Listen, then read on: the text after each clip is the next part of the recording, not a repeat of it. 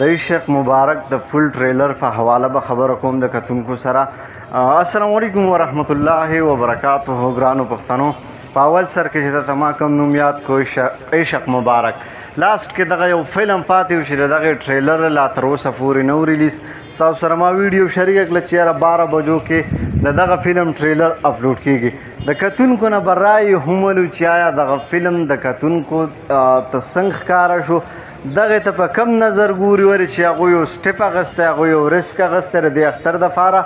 پیشق مبارک نو ویډیو ترینه پوری ګورئ چینل چانه سبسکرایب کړئ چینل سبسکرایب کړئ او د غنټې نشان ور سره وای چې دا سینې ویډیو تاسو ته وخت په وخت ملاویږي هر ازو مزید خپل ټاپک مخ وړاندې بوزو د هر ویډیو زمون کوشش چې د خپل کتونکو د فار یو خو ویډیو راوړو هغه ته مخ په وړاندې کیدو د شاهد عثمان په یو ریسکی ډایرکشن کې د اختر ته ایزی هیرو فلم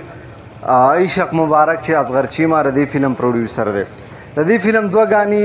آلریډي کمپلیټلی ریلیز شوې دي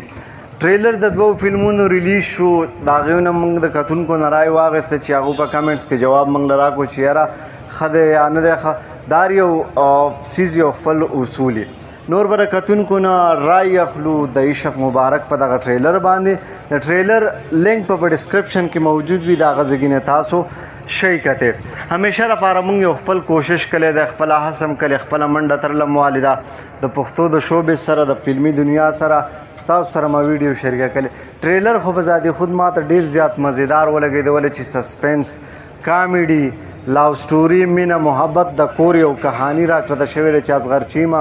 جهانګیر خان نسیم پهلوان اصف خان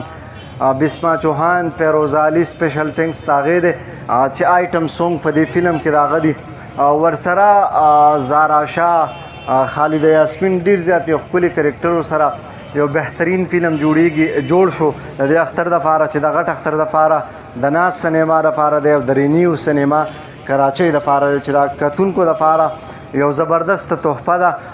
د غټ اختر ګورو چې دا فلم کم ریسپانس راوړي کو دی فلم چرته خه ریسپانس راوړو خه پبلک راغی دی فلم د پاره او نو شاهد عثمان دا ویل چې زما به نور دغه دز ډمبق زبه کوشش کوم چې یو سمپل سټوري د کتونکو سره راوړم مینه محبت لو سټوري سسپند کامیډي او ټریلر د کتونکو سره بیا هم پروجیکټ کې راوړم نو خومید ته ساتم دا کتون کو نه چې هغه یو خصیص خوخی او یو خصیص لرازي نو دا به ان شاء الله سپر هټ کیږي شیخ مبارک ټریلر ریلیز شو عثمان را کې اجازه تلوي الله پامان